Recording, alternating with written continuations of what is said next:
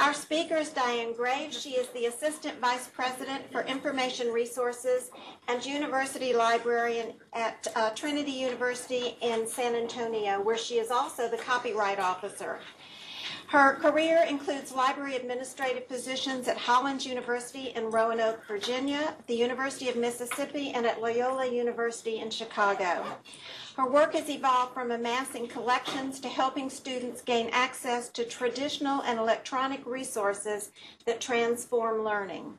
In Diane's current position at the Coates Library at Trinity, she focuses on providing services to students and faculty and promoting positive change from the traditional academic library to a more dynamic service and access environment.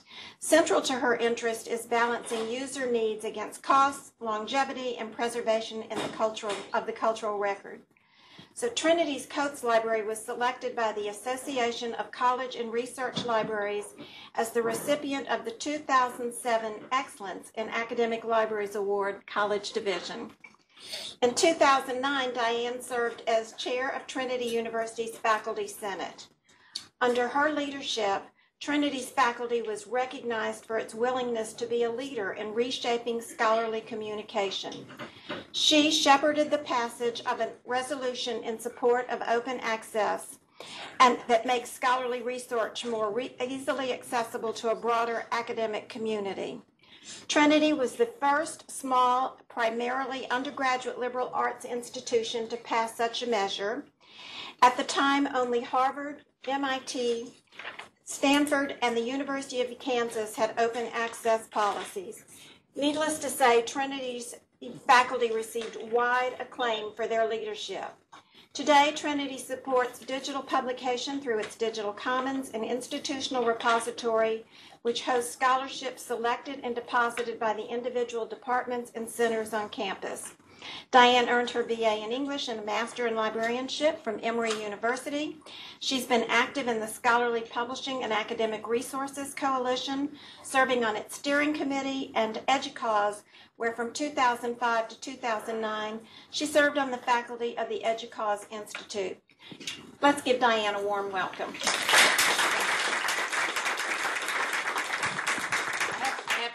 Here we go. I have to razz you all. I, I did a talk about a year ago at Texas A&M, and, and they did the howdy thing. I was like, I mean, I, that was a new one for me. So, okay, so can everybody hear me okay? Howdy. Doing all right? Some, what word was that? Uh, okay, all right. okay, so um, we've already introduced myself, and I assume everybody knows where Trinity is. I'm back in Texas. I've done this in other states, and they all think we're in Connecticut, and that's the that's little Trinity. We're the big Trinity. So, and we, we were the ones that got Trinity.edu first, so we, we get to claim it. So. So I was uh, I was excited to come to Texas Women's University, and uh, just last week, a friend of mine gave me a book called Quotable Texas Women. And I thought, oh my gosh, I have to use a quote from Quotable Texas Women. So I found this one. And so my purpose today is to make you enlightened, or a little bit closer to enlightenment than you were before you got up and came in today. So, um, and apparently Sherry McConnell is a Texan. She's a was a big shot rising and has done a lot of other cool things. But anyway, so that's my that's my bit of women's empowerment stuff. So I want to ask a few questions about who is here today. So um, a little demography. How many people in here are scientists? Any scientists? All right, two scientists. Not many. Okay. Social scientists. All right. Wow. One. Are you an eco- economist by any chance? Political science. Political science. Well, well, it's too bad we don't have an economist, but we'll pretend that there's one here anyway. Okay. Uh, how about humanists?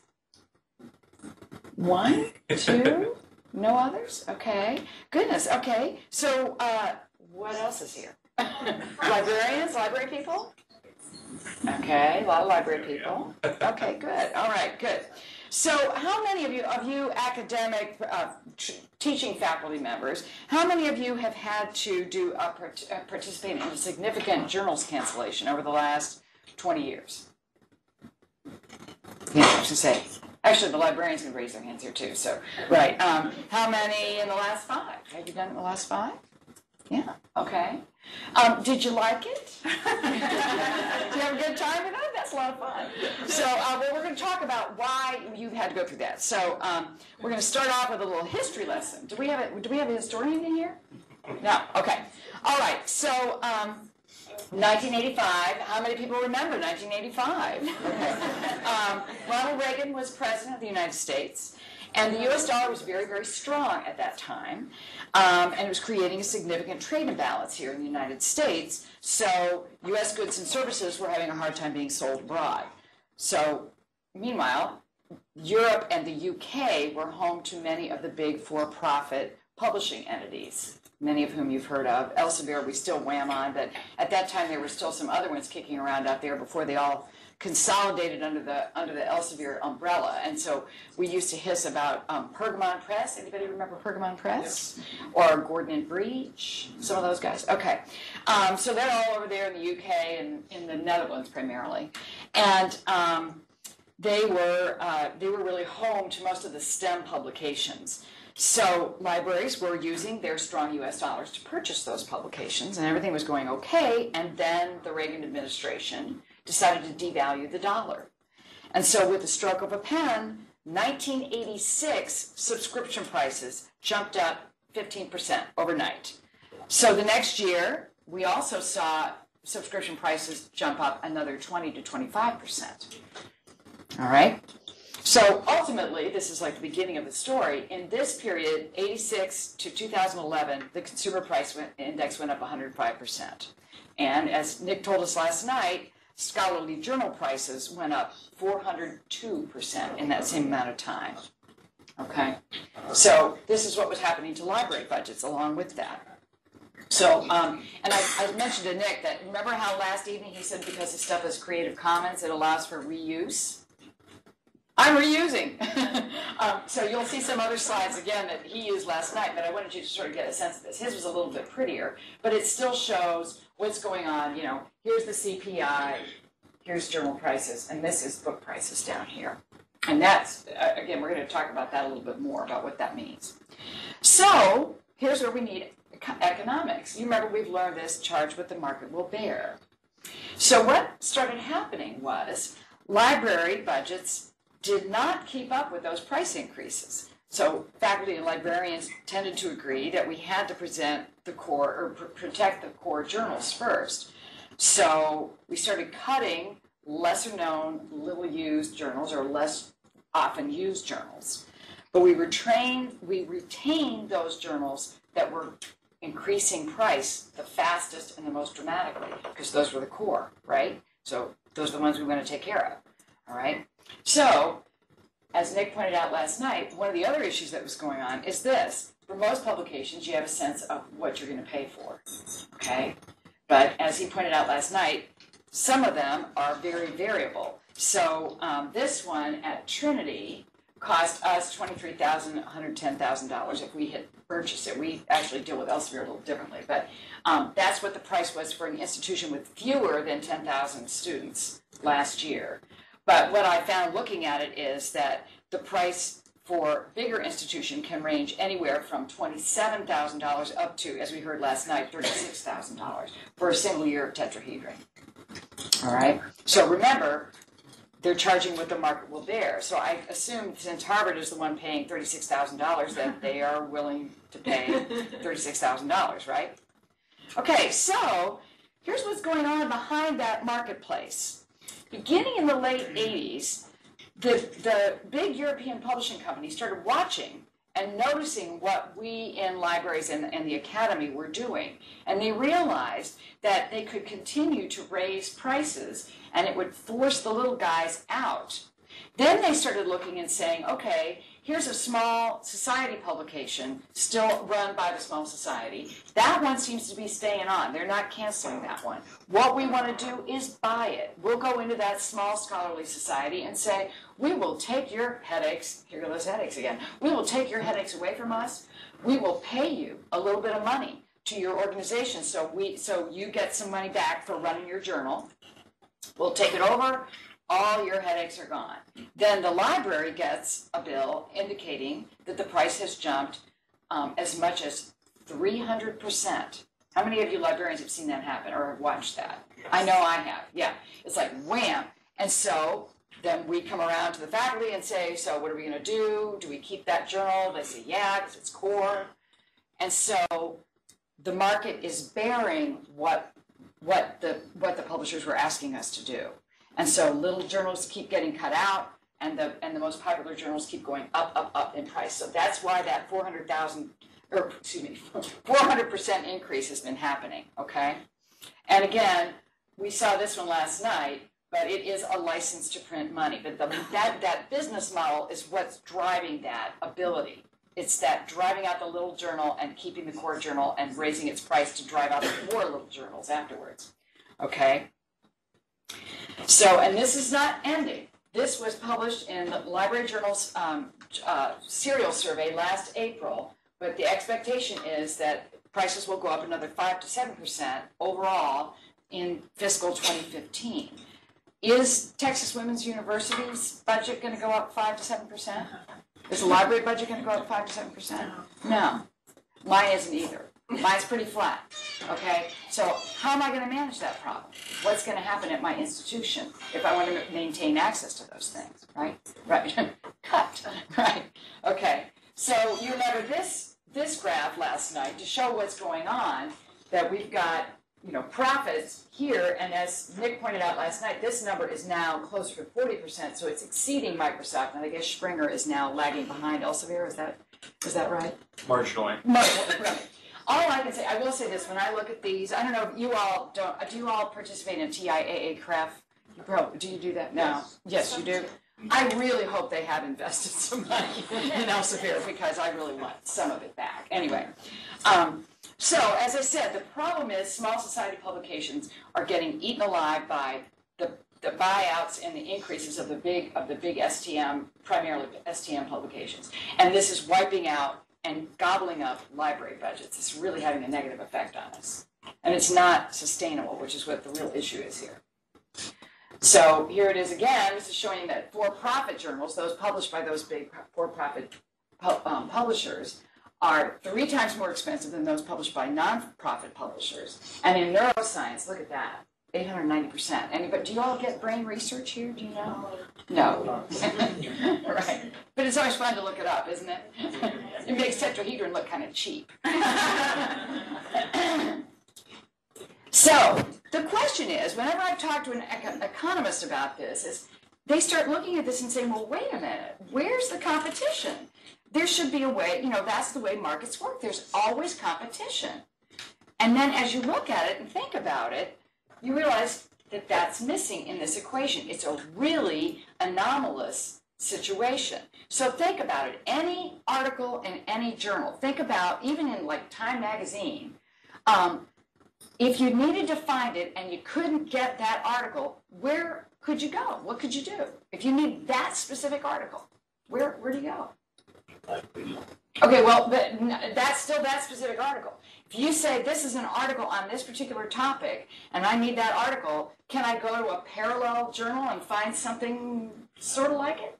You know, each article is its own little monopoly. And so each journal is a monopoly. If I need brain research, I need brain research. I don't need studies in the brain because that will have different articles in it, right? So that's part of the problem. There is no competition. Okay, so um, thanks to Chris Reed, I have this cute little thing which is showing Texas women's expenditures for this six year period. And um, this is important. Notice what's happening to the books, and look what's happening to the journals. And I found after I looked at this that your budget and Trinity's budget are very similar in size. So I thought I'd show you a little bit longer period of time, but I would I'd be willing to wager that your your graph would look very much like this if you had the data. Um, back in the old days, I'm, I'm really going to date myself now, but how many people in here remember when the ideal library budget was a balance, 50% books, 50% journals? Right, I'm really dating myself here, but a couple. Okay, look, Trinity didn't even hit that point until the early 90s. We were spending that much more on monographs at that time we had a president that believed that um, the number of volumes was really going to uh, help us out in the U.S. News and World Report thing. so apparently, our budget for a while equaled that of the undergraduate library at Stanford University. So we have a good collection, don't we, Nick? anyway, um, but so we didn't hit that that sweet spot of 50% until the early 90s. But look what happened since then. Look at that. Okay. So now it's about 20% of our overall expenditures. Okay. So keep that in mind. Something important is happening in other ways there. Okay. So, once again, I'm going to review some of this we've talked about already, but for those of you who have published articles, um, when you do them, who's doing the work? Pardon? The author. Author's doing the work, okay. So, who's paying you? Nobody. Well, you, you, you, you actually are working here, right? Is there something going on that we need to talk about? Scratch this, let's talk about paying the people who work at Texas Women's University. Okay, but, okay, so Trinity, or sorry, Trinity, um, Texas Women's pays you, and the author does the work. Who's paying the publisher? Okay, which is Texas Women's University. Okay, so Texas Women's is paying these people and paying these people. And in the middle here, anybody in here a journal editor? Okay, who's paying you? The publisher. Huh? The publisher. The, uh, you are getting paid by the publisher. Well, no, it's for an editor. Okay, okay, you get paid. You get paid to edit your journal. Yeah. Yeah. yeah. You do. Okay, Do you make a lot? Okay, just check. Okay, all right. Anybody? Any, so most of us are not getting paid. We're doing it out of the goodness of our hearts, right? Diane. Yeah. Oh. Don't get paid. All right. Peer review. Who does peer review in here? Okay. Big checks coming in on that one? No. Okay. So who's paying you to do peer review and editing for the most part, except for this one lucky man who's getting a little chump change for? okay. So Texas Women is paying for the work and for the publication. Okay. So that, that's kind of like bad math if you think about it. All right. So, okay, and you all saw this one last night, but I just, I, I'm actually gonna dwell on it a little bit more, where the guy apparently didn't quite get when he, when he talked to Jorge Cham, what he was talking about. And so he says, you know, basically scientists give us their work for free, then we have volunteer scientists review it for free, then we bundle it up and sell it back to them at a profit. And he says it sounds outrageous, but scientists will do it because they want to be published we can charge whatever we want is essentially a monopoly. And again, there's the little guy there. So there it was, Nature saying that. And um, I don't know if you've ever met anybody from the Nature Publishing Group, but they always ta- call it the Nature family of publication. They're so nice. Makes you feel so good. So anyway, that when he when his guard was down, he admitted that he's more like like Mr. Moneybags there. Okay, so let's talk about why we do what we do. Those of you who do research, why do you do the research?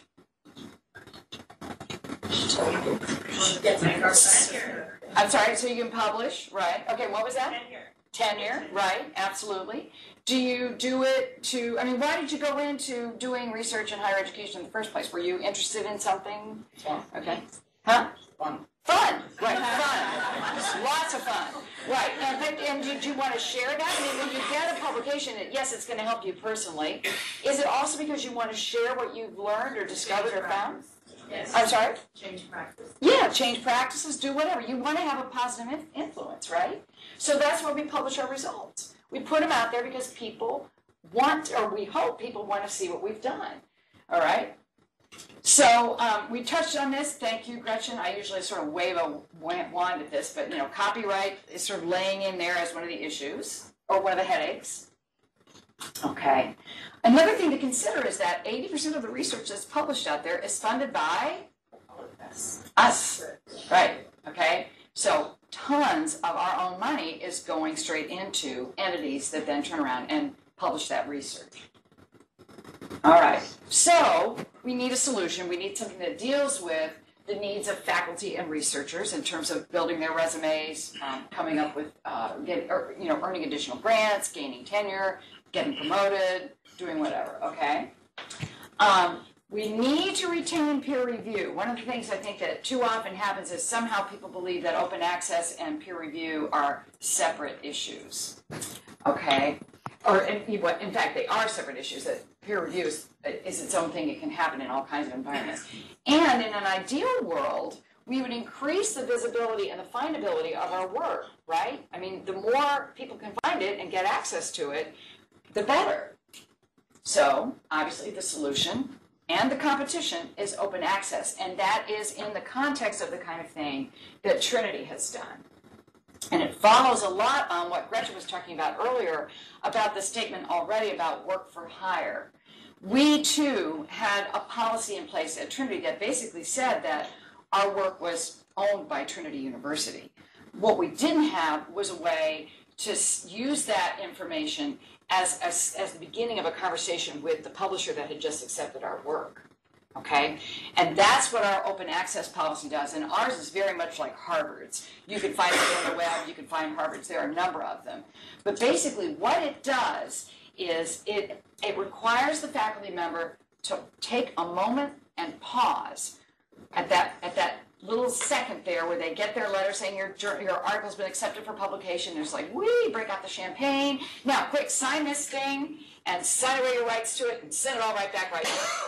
And, um, and that, you know, who, who hasn't quickly turned that homework right back in? I mean, that's what we do, right? We're really happy.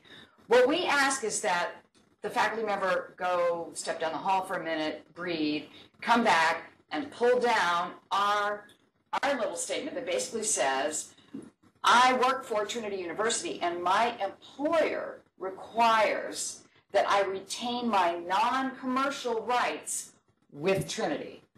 The commercial rights are going to go to you, but the non-commercial rights are going to stay with me. And then, uh, or with Trinity, actually. Again, so it's not even the person themselves holding onto it and having to fight this fight alone. It's saying, my employer says I have to do this. So I can then deposit it under a Creative Commons license, like the CC BY that, that Nick was talking about last night, and put it in our institutional repository, where it can be, where, where it's scraped by Google Scholar and can then be located and used by people who don't have access to the paid subscription. So now we have the article in the paid subscription, and we have the article out on the IR, where it can be found in Google Scholar. And now there is another place to find that journal. There is competition there. And that has, I believe, started to put downward pressure on the price increases. In fact, Nick said he saw that tetrahedron had actually dropped price a little bit this year. Yay, for a couple thousand dollars, what, you know? But in fact, it, you know, as bad as the five to seven percent increases are, some of us remember when journal prices were jumping up fifteen percent a year. And the fact that that has slowed, I think, is really attributable to this movement. I really do. And, um, and there's potential for other things to go on with that. Okay, so um, again, this is the definition of it free, immediate online access to scientific and scholarly articles with full reuse rights. And that's really critical. It's the idea that somebody else can reuse that content in an academic or scholarly or whatever setting as long as they attribute. Okay, so now I'm going to talk to the humanists again. Where, where are the humanists in the room? Go one, two, just two? Okay, well, you need to take this back to your clients, okay? All right, so I want to go back and look at these numbers again. Um, see what's happening to the journal pricing. We're trying to level it off, but we're still fighting that, you see? Okay, so here is our book budget. What does this mean for trying to get a book published? Do, has either of you published a book? Have you have you tried lately? Hard. It's hard. It's really hard. Um, and we've seen, I, I watch for these articles and they're so depressing, but in the Chronicle of Higher Education about um, graduate institutions, or, or not grad, yeah, um, research institutions developing offices to help their young, early career humanists figure out a way to get a, a monograph published.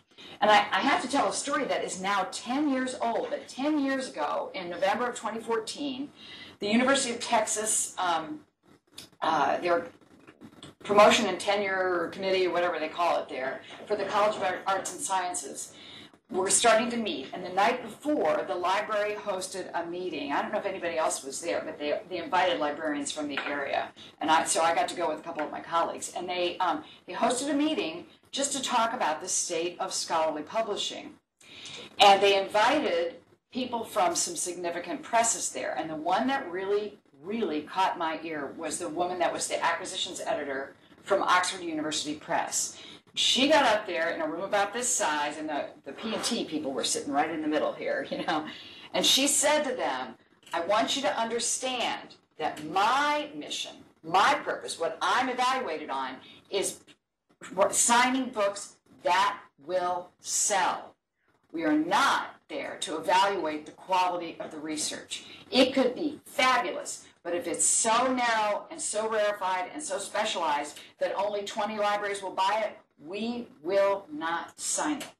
And she said, You people need to stop using us to vet the quality of research. You need to stop thinking about the contract for the book to decide whether this person should be given tenure or not. And those people in the P&T commission were they were stunned because of course that's the easy way. Wow, they got a book with you know so and so press. It's a high prestige press. It's good.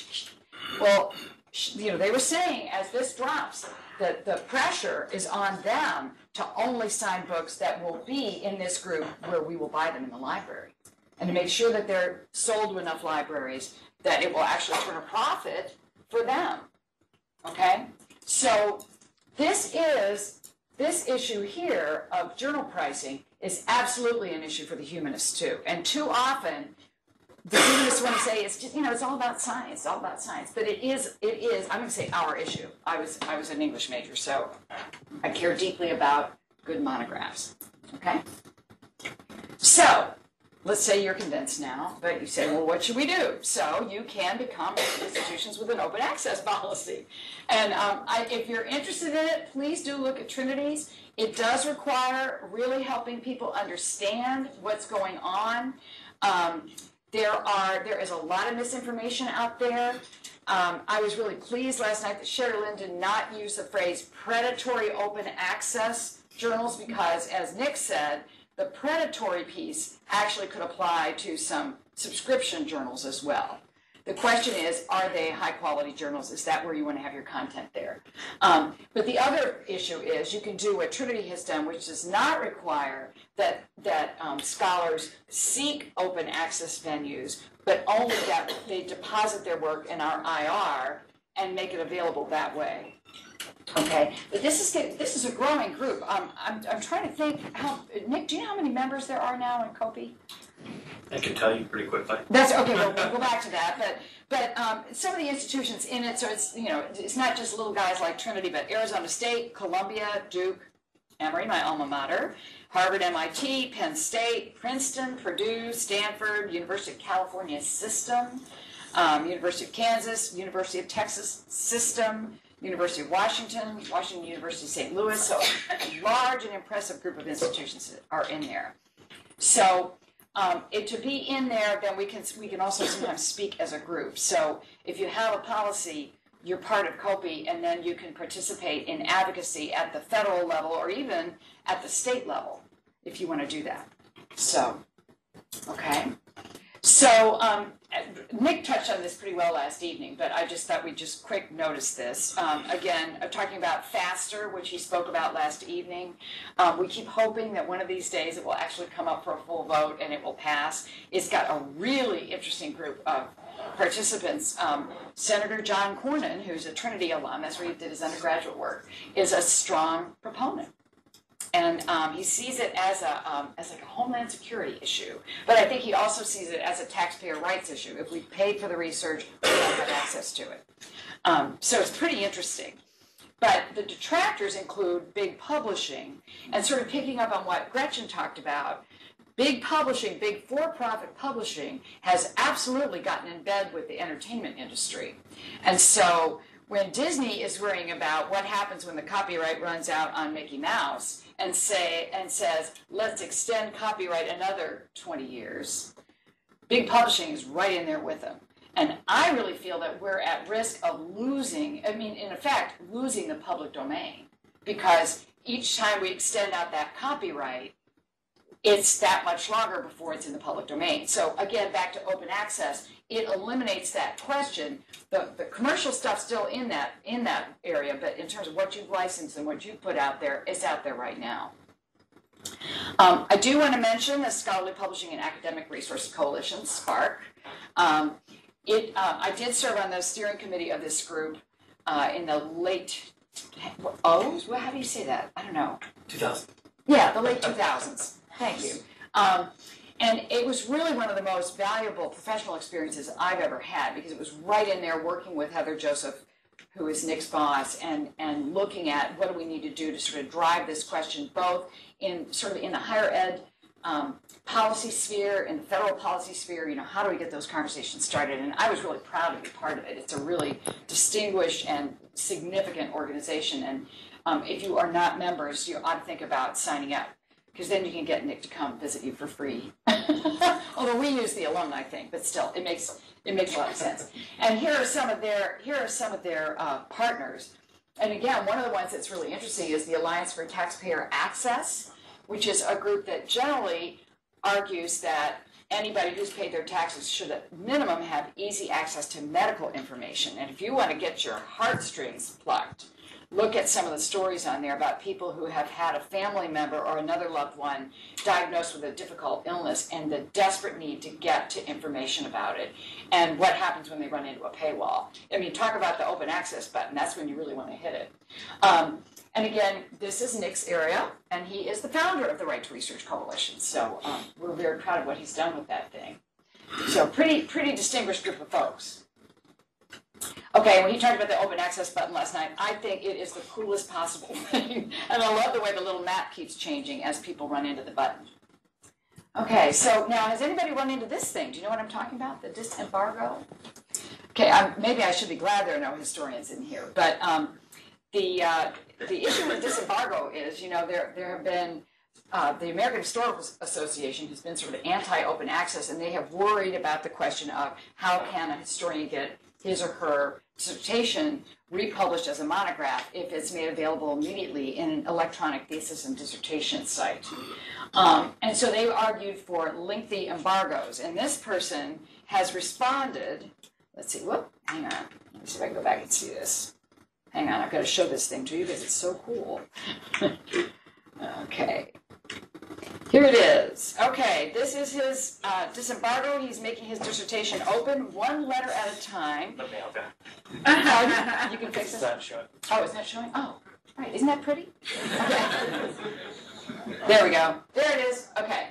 All right. And if you scan down, let's see. How do I how do I get this do this? If you scan down on the thing, there it is.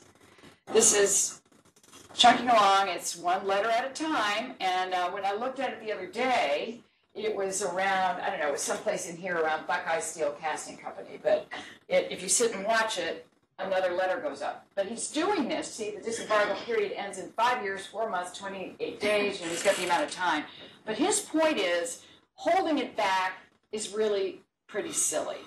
If it has value and it needs to be out there, keeping it away from everyone is probably not the right response. And he's calling on historians to think very differently about this question and invite them to think not about opposing open access, but thinking about what does it mean to publish a monograph and how do we share our research and evaluate it in meaningful ways that may not be in the traditional publishing process. You see what I'm saying? Does that make sense? Okay. And then, let's see, now I gotta go back here. So, let's see what happens when I hit this. Okay, thank you. Play. There we go. Okay, so we talked about Open Access Week. Are you all planning things? Are you doing things here? You can always get cool swag. I mean, you already are way down the road because you have good buttons going on, but there's a lot of stuff going on. Right, yeah. Okay, and then last night we talked about Jack Andraka, um, which I think is incredibly cool. One thing that Nick didn't say about him last night that I want to share is um, he did use a lot of information that he got through PubMed Central, but his parents were well-to-do and willing to drop about $1,200 a month on pay-per-view articles for him. So think about that. I mean, those of you who have children that have done science projects, are you willing to do that? You know, um, I was not. um, and I did have to get some things from my library for my kid over the years. But in fact, their parent, the, the, the issue is his parents did have to shell out that kind of money, and then that automatically privileges the better off kid. you know, puts him in sort of the 1% of students, not just intellectually, but financially as well. I think they probably knew they had an exceptionally smart kid on their hands, but still, that's a lot of money. Okay, so these are some things he said. Um, you referred to this last night, Nick, but these are some things he said. You know, just because in most online databases, articles cost about thirty-five dollars and they're only about ten pages. I love that. It's like that's not fair. You know, and then he says this. You know, my research should serve as a testament to free online research. It was hard to get what I needed without the costs. And I remember one time talking to Nick about Jack, and um, your your comment was that he actually said he knew about 40 other kids that were a lot like him that could be doing this kind of work if they had the kind of access that that you need. So think about the lost opportunity we have when we assume that the only people who can use scholarly research are other scholars. And that's an argument I've heard, and I, I think it's really kind of a pessimistic view of the human intellect when we think that way. So I'd like to cl- conclude with humor, and let's see if I can make this thing go. Let's see. Here we go again. I can't get my how do I get my cursor over there? I am so sorry. There it is. Simon Smith's publisher up at the top.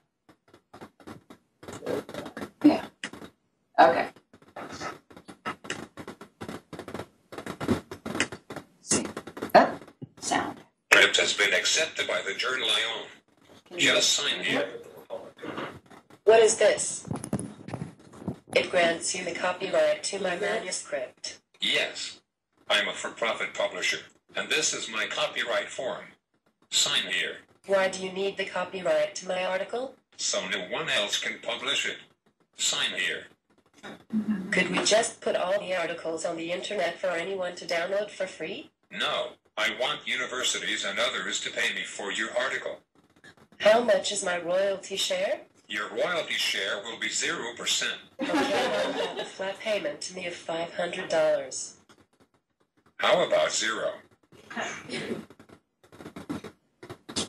How much money will the researchers get who reviewed my article? They will get zero. Taxpayers paid for my research. Then other researchers donated their time to assess my article. Now, if I give you the copyright, you must be paid dozens of dollars per article, or thousands for a library subscription. Yes, that is correct. Sign here. How much profit will you make from my article? Our expenses are low. Our operating profit margin is over 30%. Thank you for your work. Thank you to the reviewers. Thank you. Sign here. Do you want my student-funded and government-funded research to be left behind paywalls? I am a publisher, not an ethicist. Please give me the copyright to your article. I will sell it many times, and I will buy a house on the beach. You said you already have a house on the beach. Yes, I like to buy houses on the beach. Sign here. There is an alternative to you called Open Access Journals. All articles in them are free to download. Open access journals are a dangerous threat to our venerable journal system. Okay, give me $1,500 and I will make your specific article free. What about all the other articles in the journal? Don't worry, they will not be free, so libraries still will have to pay for a subscription. My operating profit margin will remain high. If I publish in an open access journal, I will be helping make lots of articles free. If I deposit the final draft of articles in my university's digital repository, anyone can download them and that will reduce your ability to charge large subscription fees.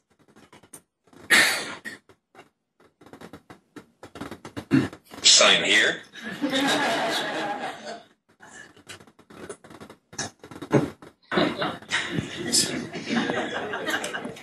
Okay. All right, now we're gonna stop that one. Okay. Whoop, there we go.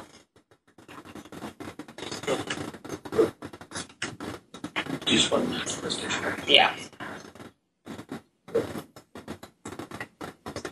Oh, here it is. Okay. All right. Okay. So um, at at this point, we can. I think we can open up for questions. Um, I did want to make a, just before, right before we do, I wanted to make a couple of comments, and that is, um, I do think one of the risks we run when we talk about these things is to overly focus on the sciences. And, and initially, that was the focus, and that's where a lot of the public um, funding for research goes. And it's easy to sort of pull back and say, well, it really is a science issue, it's not a humanities issue, it's not a, even a social sciences issue.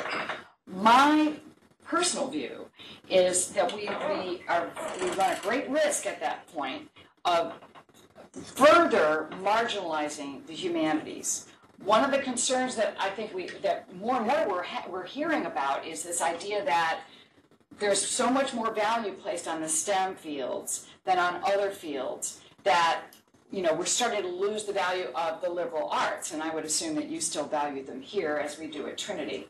And so I feel like it's really, really important for those of us who are outside of the sciences to also understand what these issues are and become able to discuss them and support them and understand why it's important for us all to participate in changing a system that is no longer sustainable.